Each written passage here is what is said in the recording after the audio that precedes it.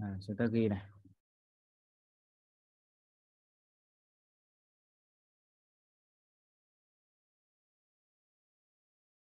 Bài đầu tiên này.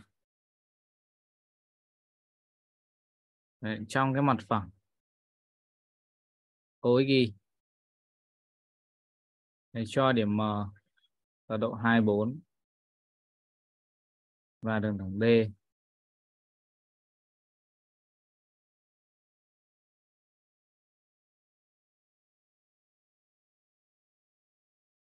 yêu cầu là viết phương trình đường thẳng. Delta. Song song với D. Và cách M. Một khoảng. Bằng căn 10.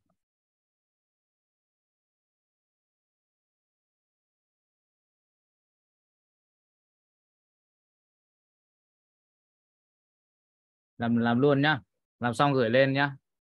Để chúng ta cùng uh, kiểm tra kết quả nhá. Tiếp theo này cho tập x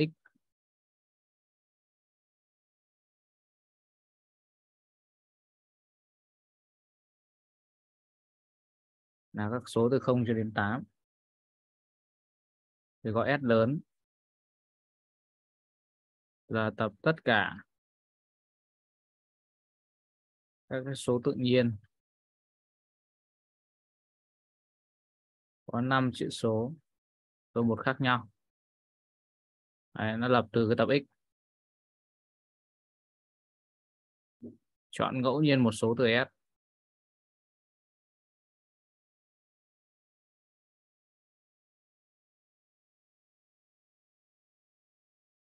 Đấy, yêu cầu là tính xác suất để số được chọn. Chia cho 5 nha. Hai bài trước nha, các bạn làm luôn rồi gửi lên thầy xem. Nói nhanh kết quả mấy câu này các bạn nhá. Nếu một số bạn gửi lên thì bài làm tương đối ok rồi. Giờ mình chốt nhanh kết quả này, cái hướng làm thôi. Với cái câu thứ nhất, thì chúng ta thấy hai thằng song song với nhau thì rõ ràng là chúng ta thấy là à, u của cái delta chính bằng u của d. Ờ, u thì hệ số của t cả ờ, sẽ là trừ 31 đúng không? Từ đây để suy ra n ở delta. Là độ là 13 Đấy, vậy đã viết viết được nó ra. Được chưa? Hay là delta là có dạng là x cộng 3y cộng c bằng 0 Đấy, mà thằng này là sao? C bằng 0.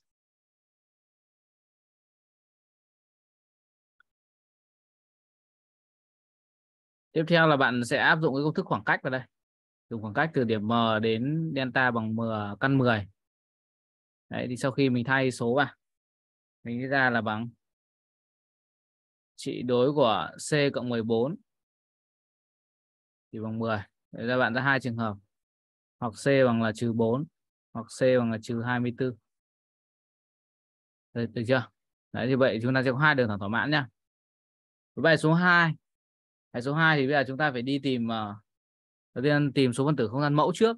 Thì ở đây này cái phép thử của mình là lấy một số từ tập S thì mình phải xem là S bao nhiêu phần tử đã. Được chưa? Đấy thì mình sẽ thấy là cái số mà tự nhiên có 5 chữ số khác nhau lập từ cái này. Đấy ví dụ bạn có thể làm bạn gọi riêng A B C D E ra. Năm chữ số khác nhau mà. Thì trong bọn này thì chỉ có A chọn riêng thôi. Được chưa? Từ 0 đến 8 là 9 số. Thì, thì này sẽ có 8 cách chọn. Đấy, còn cái từ B C D E à? cái bộ này nó sẽ có gì đây? Chúng ta sẽ dùng chỉnh hợp. Đấy. A48 vậy tổng kết lại đây là gì? Chúng ta sẽ có là 13.440 số. Mà bạn chọn một số trong đống này thì có phải n omega? Đấy chính bằng là 13.440 luôn. Đấy là xong số phân tử không gian mẫu. Đấy, sau đó bạn là gọi A thầy nhá là biến cố. Cái số chọn được chọn là số chia cho 5. Được chưa? Thì bây giờ mình xét cái trường hợp chia cho 5 thì mình nêu gì các cái trường hợp thuận lợi. Đấy, thuận lợi cho cái biến cố A. Đấy, thì bạn nêu các trường hợp ra trường hợp 1. trường một bây giờ tận cùng có thể chỉ là không hoặc năm thôi Đấy, ví dụ đến trường hợp mà uh, cái uh, cái số e số cuối cùng Đấy, e bằng à, 0 thì lúc này là ABCD là chọn thoải mái. Được chưa? Đấy, a chọn thoải mái thì cái a b sẽ có là A48 cách chọn. Vậy tổng kết trường hợp này sẽ có bao nhiêu đây? Có A48 là E là một cách chọn nhá. Đấy, sẽ có A48 cách. A48 số cho trường hợp thứ nhất này. Trường hợp thứ hai. Nếu E mà bằng 5 Đấy, thì lúc này cái sự số A vẫn phải chọn riêng. Chưa? A lúc này nhá ngoài việc là mất số 5 của E đi. Đấy, thì phải loại thêm cả số 0 ra. Các bạn bỏ ra hai số. Thì còn là 7 A có 7 cách chọn. Đấy, và sau đó là từ gì? Từ cái cái B C D. Đấy, thì chọn chúng ta sẽ lấy ba số trong số các số còn lại. Đấy, thì còn 7 số thôi. A37 vậy chốt ở đây sẽ có là gì đấy một có thằng E nhá. À, a là 7 cách chọn nhân với lại A37 số sau đó các em cộng hai cái trường hợp này vào. Thì dính ra n của a. Số phân tử thuận lợi cho cái biến của a. Thì uh, cộng vào. Ra 3150 đúng không? Từ đó suy ra xác suất của biến cố a.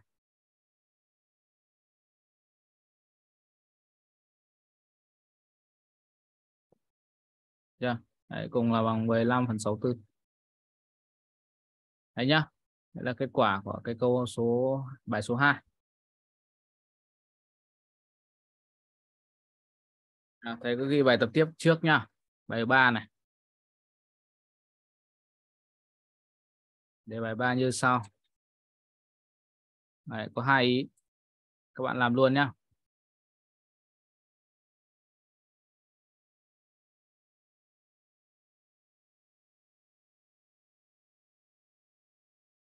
Ở đây câu A thì thì ờ, nó không có vấn đề gì rồi Đấy, nó không có gì khó khăn với các bạn cả Câu A thì uh, kết quả ở đây là 13 phần 18 nhá. Câu B giờ thống nhất lại để xem sao nó chuẩn nhất. Tránh làm ờ, người thường người thiếu. Thì giờ sếp mà yêu cầu 9 người này, ba đàn ông, bốn phụ nữ và hai đứa trẻ đi xem phim. Ví dụ đàn ông thì thầy hiệu là chữ O đi. Nhá, phụ nữ, đàn ông. Đấy, người phụ nữ. Ký hiệu chữ N đi. Và hai đứa trẻ. Hiệu chữ, ờ, chữ T. Thế bây giờ mình sẽ thử các trường hợp mà nó sẽ thỏa mãn yêu cầu người ta. Đó là gì? Mỗi đứa trẻ này ngồi giữa hai phụ nữ và không hai người đàn ông ngồi cạnh nhau. Bây giờ mình sẽ thử nêu các trường hợp có thể xảy ra ra. Ví dụ bạn có thể thấy nó như thế này này. Ờ, ví dụ nha xếp vậy để xếp nữ trước. Nào. Phụ nữ này, đứa trẻ này, phụ nữ này. Chui vào giữa đúng không? Xong lại chèn luôn một đứa trẻ trong nữ này. Như vậy thì hiện tại thầy mới dùng có có ba nữ đúng không? Đấy và mình có bốn phụ nữ. Đấy, thì mình bây giờ để cho mấy thằng, người đàn ông không ngồi cạnh nhau, thì giờ thầy chèn đàn ông vào những cái vị trí này. Đấy nha thầy sẽ chèn đàn ông vào những cái vị trí này đây chúng ta có ba người đàn ông đúng không? Thì nếu như xếp này mà đang xếp liền là thế này thì đông có thể ở đây ở đây và ở đây. Đây là một trường hợp.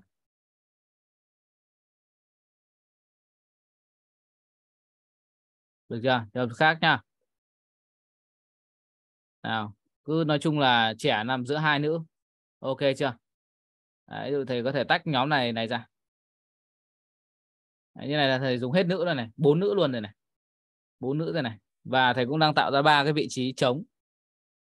Được chưa? Thì thầy xếp ba cái ông đàn ông vào những chỗ này.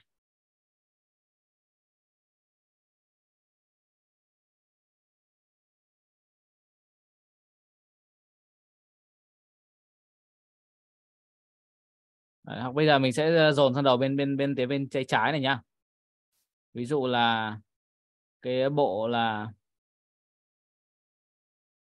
nữ này trẻ này nữ này trẻ nữ này. Đấy, dụ dồn sang bên tay phải thì nó sẽ lẻ một người nữ ở bên này. Đúng không? Lúc này ta xếp cái ba người nam vào các cái vị trí trống này này. Đấy, thì chắc chắn là những người nam không ngồi cạnh nhau. Đấy, và nếu kiểm tra kỹ lại chúng ta chỉ có ba trường hợp duy nhất này thôi này. Các bạn chỉ có ba cái trường hợp này thôi. Đây là ba trường hợp thỏa mãn cái yêu cầu của người ta nha. Thế vậy thì thực ra nó chỉ khác nhau là cái gì? Cái vị trí xếp thôi. À, những cái quy ước ví dụ chỗ này à chỗ này phải là nam chỗ này phải là, là, là, là đàn ông này. Chỗ này phải là đàn ông này chỗ này phải là phụ nữ này chỗ này phải là đứa trẻ này. Thế vậy thì nếu ví dụ trong mỗi trường hợp này thì chúng ta chỉ cần là chúng ta chỉ cần hoán vị lại vị trí của những cái người ví dụ là bốn người nữ này thì có bốn giai thừa cách. Ba người nam này à ba người đàn ông này thì có ba giai thừa cách. Tương tự với hai cái đứa trẻ con này cũng có hai giai thừa cách.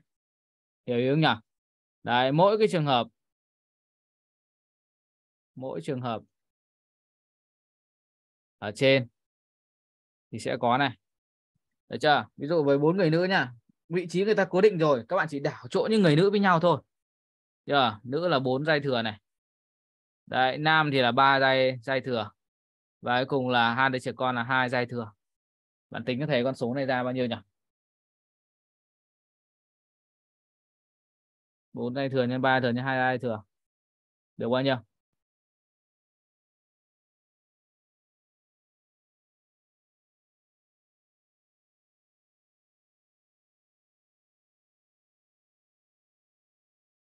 Bấm máy đọc có thể kết quả nào 288 288 ok như vậy là có cả mà mình có ba trường hợp mà ba trường hợp thì tương tự nhau thôi.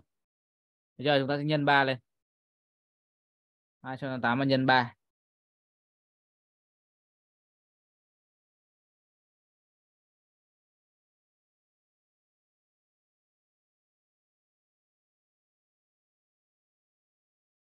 864 đúng không? Đấy, quả ra 864. Đấy, thì này là kết quả đúng này. Đây, à, đây là thầy chỉ trình bày vắn tắt thôi nhá. Thì bạn sẽ nêu là đây sẽ các trường hợp mà thỏa mãn yêu cầu đề bài. Bạn kể ra ba trường hợp như vậy. Trước hết bạn ấy phải quy ước trước nhá để bạn mô tả về nó. Ờ, quy ước là ví dụ đàn ông là kiệu là gì, phụ nữ kiệu là gì và trẻ con kiệu là gì. Nêu các trường hợp ra. Sau đó ví dụ ba trường hợp này là gì? nó tương tự nhau nên ta tính một trường hợp sau đó ta nhân 3 thôi. Đấy, các em chữa vào. Nào bài số 4 này. Đi nhanh nhá.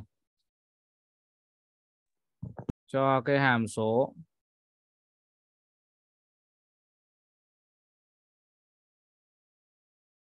Đấy, và nó có giá trị lớn nhất. Bằng 4 và cái đồ thị hàm số của nó thì nhận cái đường thẳng x bằng 1 làm trục đối xứng. Yêu cầu ở đây là thầy tìm m nào? Nha, làm luôn. Chép đề làm luôn. Giờ thầy cho cái đường thẳng D có phương trình.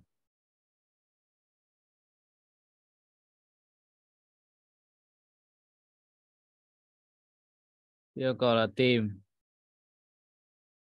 Tọa độ cái điểm B thuộc vào đường thẳng D. Biết.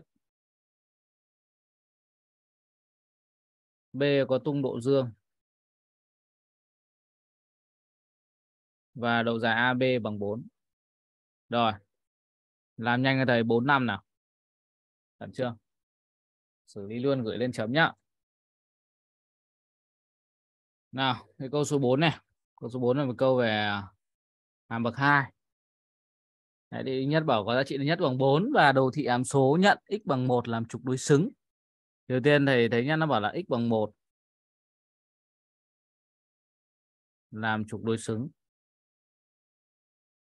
Đấy, thì thực ra là gì? X bằng 1 thì cái này trục đối xứng chính là gì? Tọa độ là gì? Trừ b chia. Đấy, trừ b chia 2a đúng không? Mà trừ b đây là gì đây? Trừ 2 chia cho 2a là 2m bằng 1 Đấy, từ đây bạn tính ra m ra. Như vậy 2m bằng trừ 2 đây là m mình bằng trừ 1 nha. Tính được một thằng rồi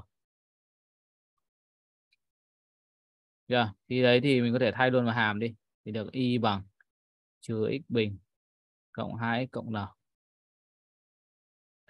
Tiếp theo này nó bảo giá trị lớn nhất bằng 4 à giá trị nhất của hàm số để vì hàm bậc 2 ấy, thì nó đồ thị dạng parabol thì chỉ hai hình dạng thôi.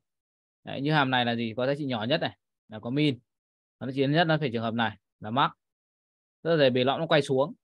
À, bề lõm quay quay xuống tức là hệ số a là âm. Đúng không? Thì ở đây cái hệ số a chính là m chính là gì? Trừ một là âm là đúng rồi. Được, được thế nào? Và mình hình dung cái giá trị max này, này nó chính là gì? Y tại nó chính là tại đỉnh á đấy thì đây chính là y tại tại một. Được chưa? Cái x bằng một này chính là gì? Hoành độ của đỉnh mà. Thì giờ bạn sẽ thay cái x bằng một vào thôi. Đây là lý luận như sau này. Vì cái giá trị lớn nhất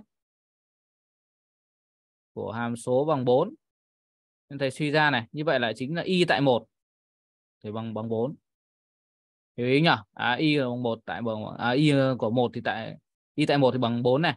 Vậy thay x1 vào. Vậy thì được là gì? 4 bằng. Y bằng. 4 mà Đấy. thay vào đây nhá trừ x bình là trừ 1 cộng 2 cộng n.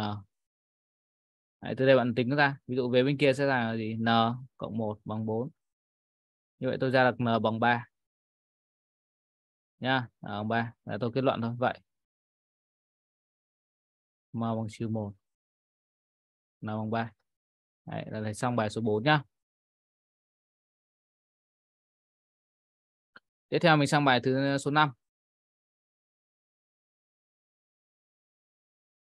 bài 5 thì tọa độ điểm B thuộc D và B có tung độ dương và AB bằng 4 thì uh, trước hết thì vì điểm thuộc đường nên thầy có thể tham số hóa tọa độ B.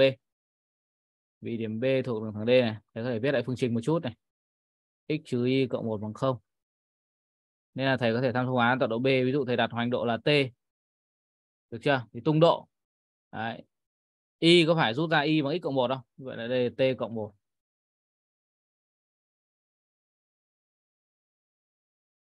Đấy, vì B nó có tung độ dương.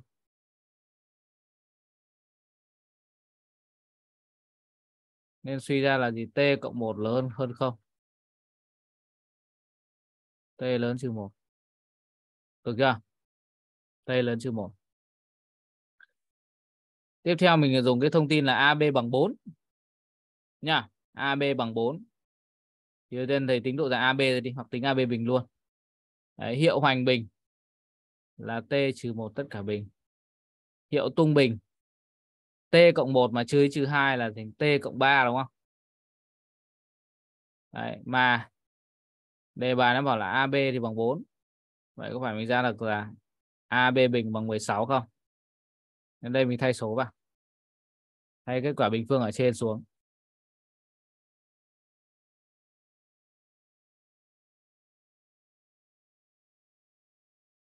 nhân tung ra 2t bình này chỗ này là trừ 2t này là cộng 6 trừ 2 mà cộng 6 thì thành là cộng 4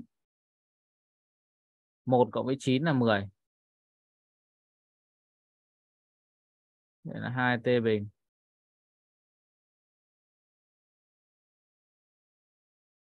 Đấy, t em ra là 1 hoặc là t a có b cộng c bằng không mà? Trừ c bằng c trên a. Thì trường hợp này t lớn trừ một thì trừ ba lại sẽ bị loại một thỏa mãn. Đấy, bây giờ với t một thì bạn thay vào tọa độ b thôi. Đấy, thay vào như vậy là được là một hai à? Được chưa? Và độ sẽ là một hai.